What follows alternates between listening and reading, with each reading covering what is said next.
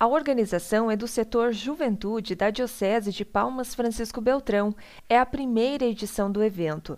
De acordo com o coordenador diocesano da Juventude, Sidney de Oliveira, a ideia de promover o festival surgiu porque as atividades programadas para 2020 não foram possíveis todas. A partir de fevereiro para cá, aí, a gente já não fez mais nada juntos, né? Assim que pudéssemos trabalhar com a diocese toda.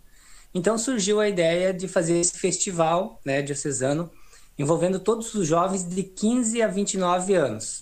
Informações no site diocesepalmasbeltrão.com.br.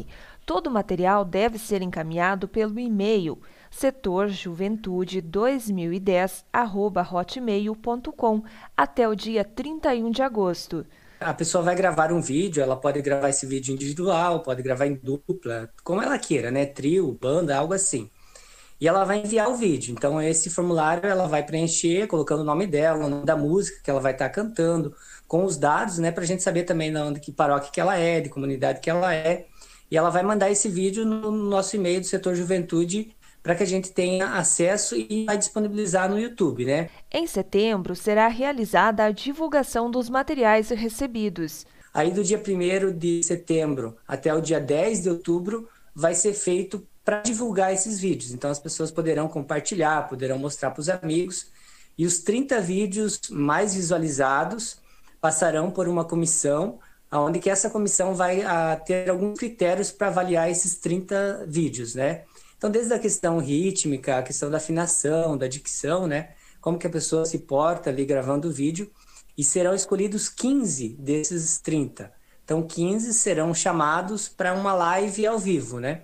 Onde que realmente vai acontecer o festival e também para a devida premiação aí no dia 24 de outubro. Haverá premiação em dinheiro do primeiro ao décimo quinto.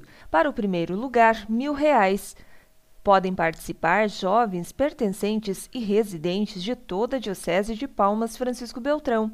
Devem ser inscritas músicas católicas. Nós colocamos como esse critério para a gente também conhecer né, a, o nosso ramo aí de, de músicas, né, também é muito grande, e para que as pessoas possam focar nesse ponto. Então, esses vídeos também passarão por esse critério lá no dia, né, é, no comecinho ali do, do mês de outubro, onde que a gente vai fazer essa avaliação, olhando também se esse vídeo selecionado está dentro desse critério. Né?